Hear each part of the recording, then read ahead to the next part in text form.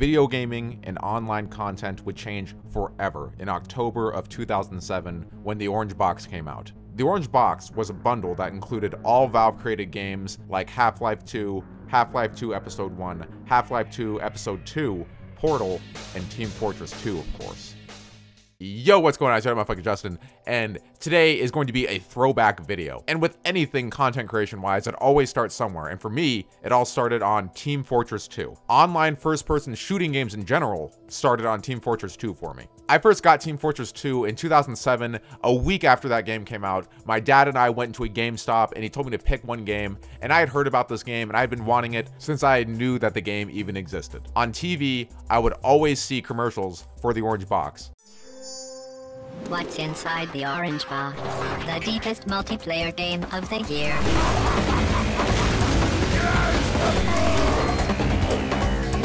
The Orange Box. October 10th. Rated T2M. I would watch G4 TV and they would always be talking about Half-Life. And more than anything in the world, I wanted my dad to purchase the orange box for me. I was 12 years old, so it was rated M and I, I couldn't buy it. And I'll never forget it. When we were at the checkout counter, the guy who sold it to us actually said, that game won a lot of awards. You're going to enjoy this. And I was like, like, fuck yeah, you're damn right I'm going to enjoy this. I loved Half-Life. It was awesome. Portal was awesome. And I beat all of those games. However, in that bundle, there was one game that had always eluded me. Team Fortress 2 was the only one that was left. So I gave it a try. The animations were incredible. The colors of things, the sounds of things, all of that was awesome. This game would go on to change my perspective on gaming as a whole. It would get me more embedded into playing online games. It gave me a reason to sit on YouTube and rewatch and search Team Fortress 2 videos. Do the OGs out there who were playing this game since day one remember this video? Do you remember Owned by a Medic? Were you even there for that? Because I was. He moved, we must fight. Escape or we'll die. Cows gathered around, cause the stakes were so high.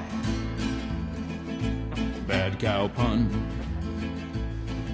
But then he was captured, stuffed into a crate, loaded onto a truck where he rode to his From day one, I came into the game and fell in love with it, all the way up until the game's ultimate demise. And for today only, we are going to remember TF2 before it became free to play, before there was hats, before the lack of updates, before trade servers, before people would spam chat trying to scrap mine, before all the bullshit. Today, we revisit and remember Team Fortress 2 for its core game, and we try to see if it's still fun 10 years later. Technically 11.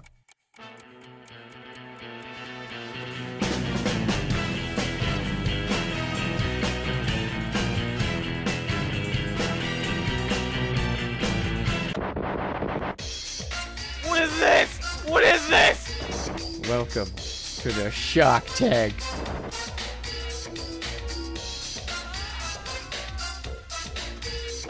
Let's try and flank them. Oh my. What the?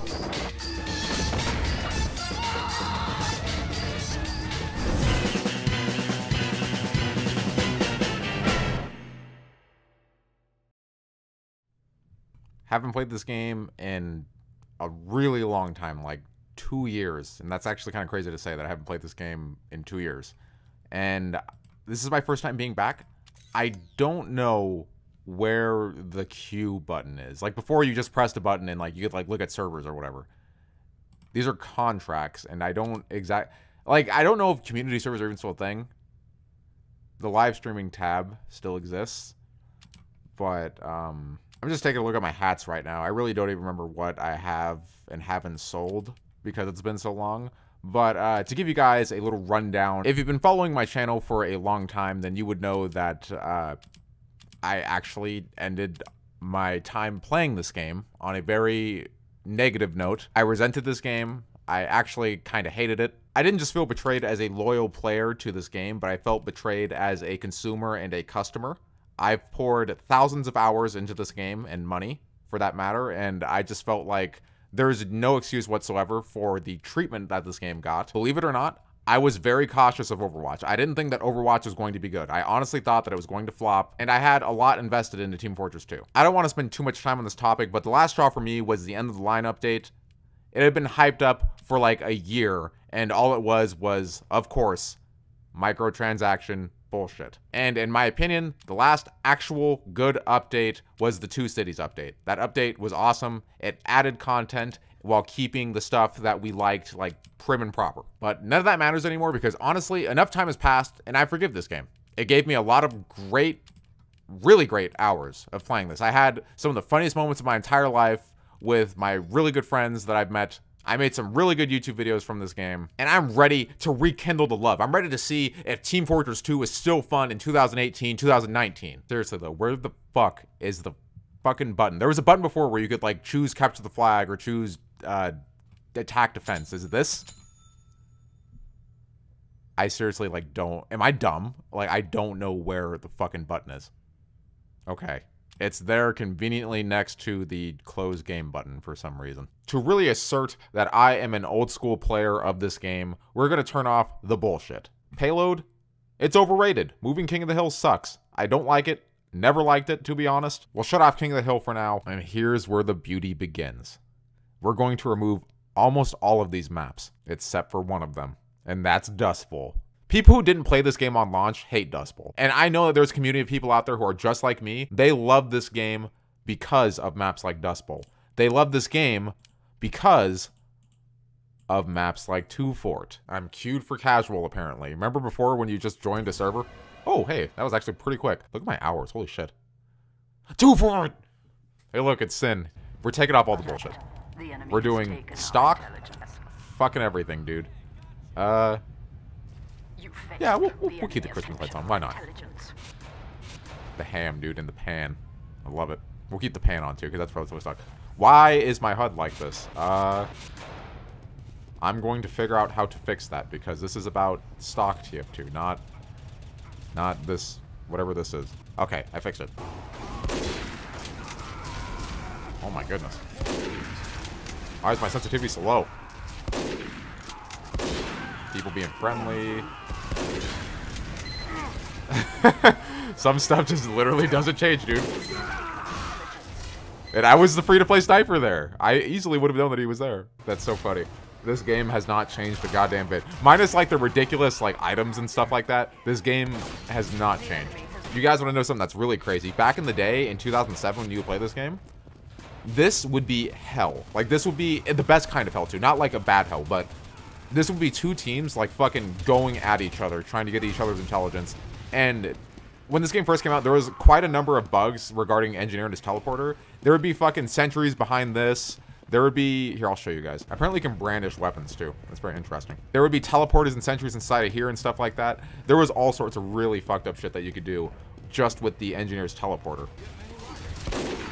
Got him! How am I gonna save you? Yeah, the helmet that I didn't hit. There was a little bit of latency with that. Vines were a thing on this game. What if your dope was on fire? I have like 30 of them, okay? I don't respond to underage people. Try my cell phone and the following vine. And I think this one's the one that goes to it? No, that's for www.shop.com. Okay, there it is. My cell phone number is 212-479-7990. Call me anytime and I'll tell you how wrong you are. So go ahead and call me. Oh, hey there, fella. Me alone. Random crits.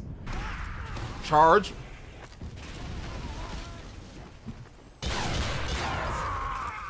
How was that not a fucking double kill? You know what my favorite part of Team Fortress 2 is? How is he alive?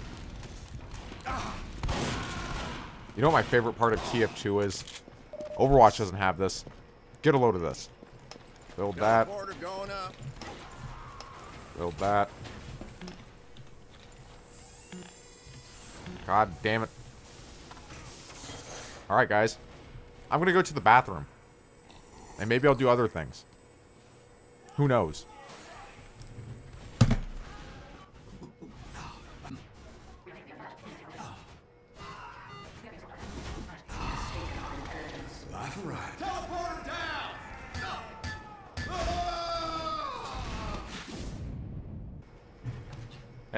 Back.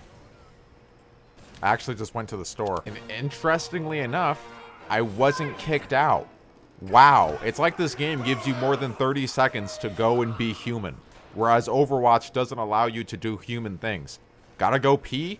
No. You fucking stay or you get kicked. Fuck you. But with this game, if, you know, you gotta go pee. Maybe you're thirsty. I was thirsty, you know, I got up, I went pee, got a drink, got a snack, ran to the store, did some push-ups, called some girls. I had time to do things. Overwatch doesn't allow you to do that. If you stop moving, you're fucked. You get kicked. Even now, I am still standing in spawn, and it's not giving me an error warning message being like, you better move. If you don't move, you're gonna get kicked out. This is what happens on Overwatch when you don't move. All right, guys, I'm gonna go do something. I don't know what I'm gonna do, but I'll I'm gonna speed run it. I'll be back. I already got a kill. See, I'm doing good. All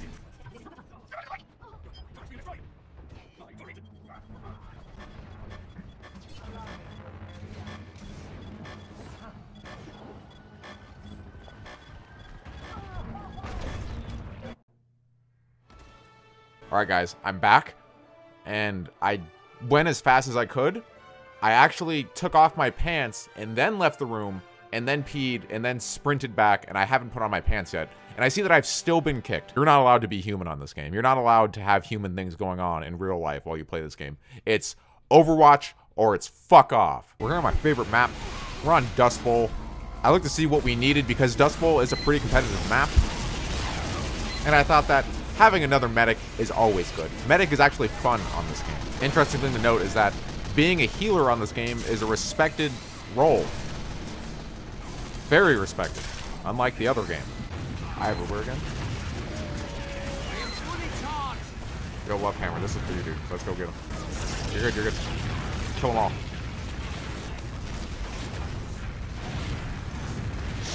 I'm backing out.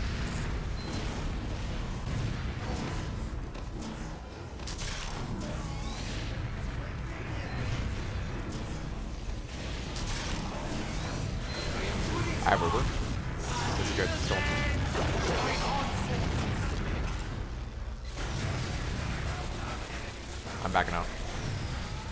Oh, I got headshot. Okay, Appa. Um, I almost have it. I bet 69%. Okay, Appa, I'm on you. Here, you're going. Kill. I'm gonna back out soon. Medic, give, heal me. I have I have crits. Hold on, hold on. Going, going. Heavy, going. Yeah, we'll kill them all. Kill the heavy behind you. There you go. Nice. Nice job, guys, keeping that push going. Or sorry, keeping them from pushing. Okay, help type me, type me.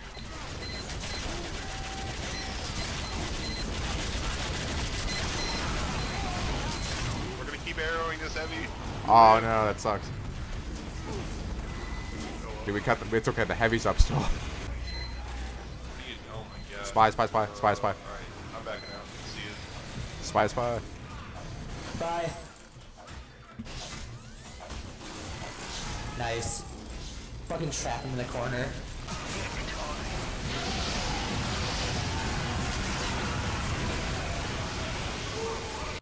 All right, I'm really trying to give this game a thorough playthrough that it deserves because I am somebody who played this game in 2007 and I did enjoy it for what it was back then. And I understand this game has developed to what it is now and although I personally don't like it, I understand there are a pretty decent amount of people who do still love this game even for what it is currently. And I was pleasantly surprised to try to jump into competitive to see this message. You are about to queue for a match that will penalize you with a matchmaking cooldown if you abandon.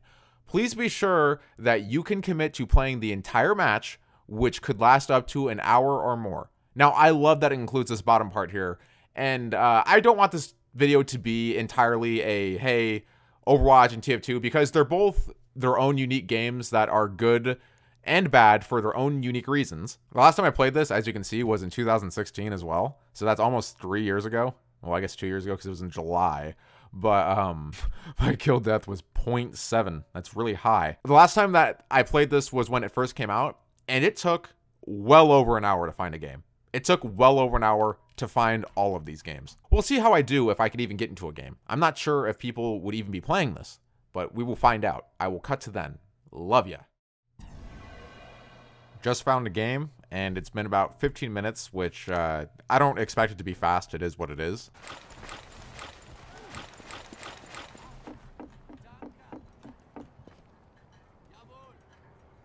Yay. Oh, that's just sad.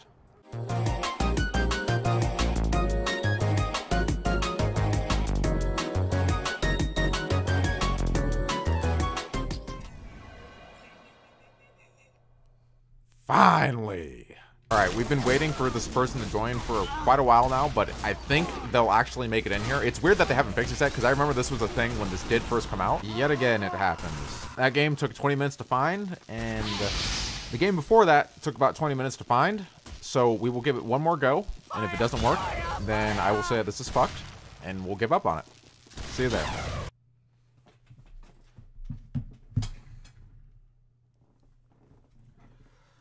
okay, I just got done watching two 15 minute videos, so it has been 30 minutes since I've been searching. It took 20 minutes for the first one, 20 minutes for the second one.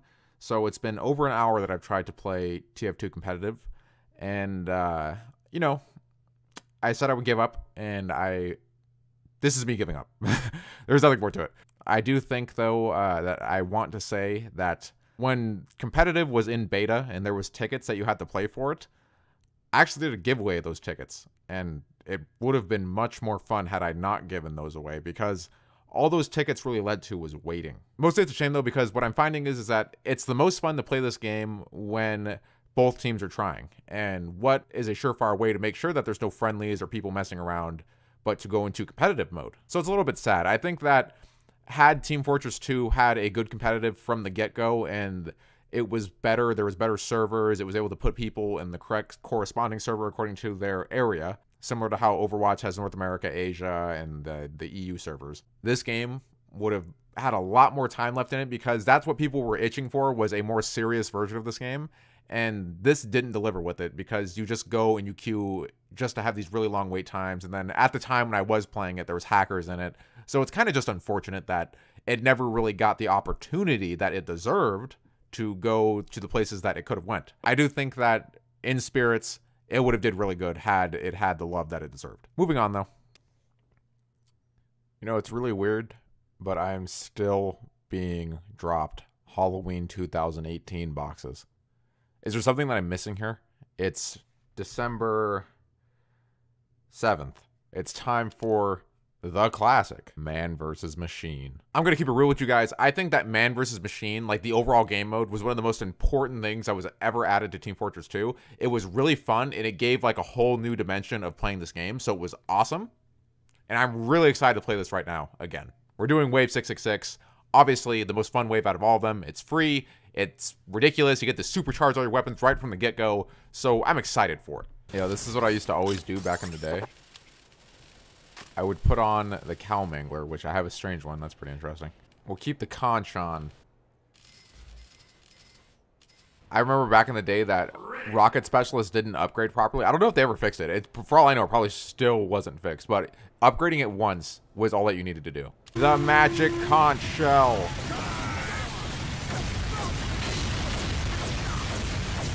Corrupt big mother frickers. I remember this was the hard part was where the spies were, because there was hella tanks. Look at all these fucking spies barely fit. You're corrupted. I love the comic which I was like, look how satisfying that is to just corrupt them.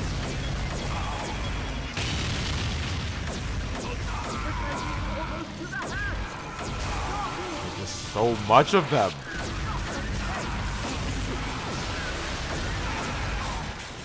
It's a good thing that I'm getting them, though, but I think we're going to lose this. And they just keep coming.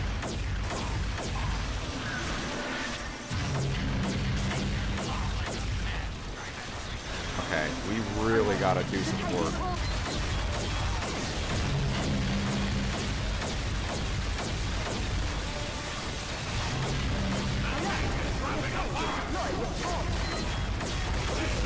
We barely fucking got that.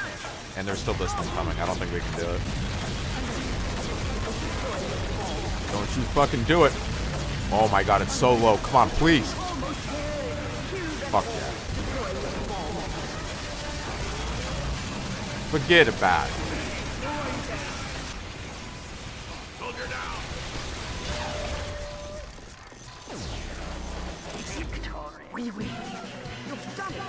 God damn. That was my first try too. I still got it, dude. Are there stats for this? Where are my stats? 106,000 damage. How impressive. I didn't even get anything, but that's what it's all about. Is I got fun out of it. That was actually very fun. I miss that a lot. It's really unfortunate that Overwatch doesn't have a year-round thing that you can just do like co-op stuff with. Like, it's, it's weird. They have two events that have co-op, and they're once a year for like two weeks. Why? Why not have something year-round? Thanks for playing Man vs. Machine. Man up for more. You know what? Maybe I will one day. All right, it's time to do something silly and fun like all the other post free-to-play YouTube people did. We're on good old Hightower right now. We got the specialized kill streak sticky jumper because I have one of these. And uh, we got the Market Gardener. The Demo Man Market Gardener. Oh, I was never super into Hightower, but there's a lot of charm. I'm, I'm having nostalgia feels right now. I'm gonna die. Maybe not. He didn't run me down. Good guy. This counts. Damn it. Just don't die. Counts. This is gonna count too. Come on, why is he moving backwards? All right, back on Two Fort again with the silly strategies. We're going into the water area, the sewer, where I belong, so I can be an elusive pyro shark. This guy's gonna run right into me. Just you wait.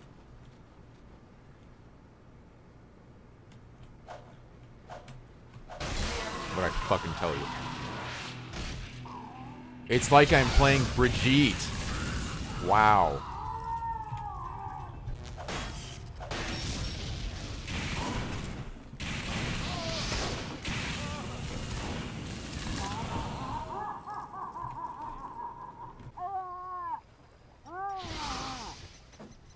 Really miss this game.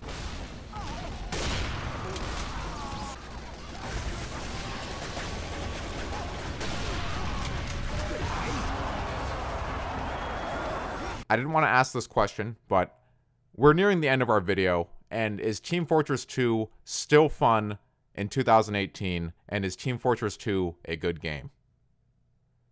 My answers are yes and yes.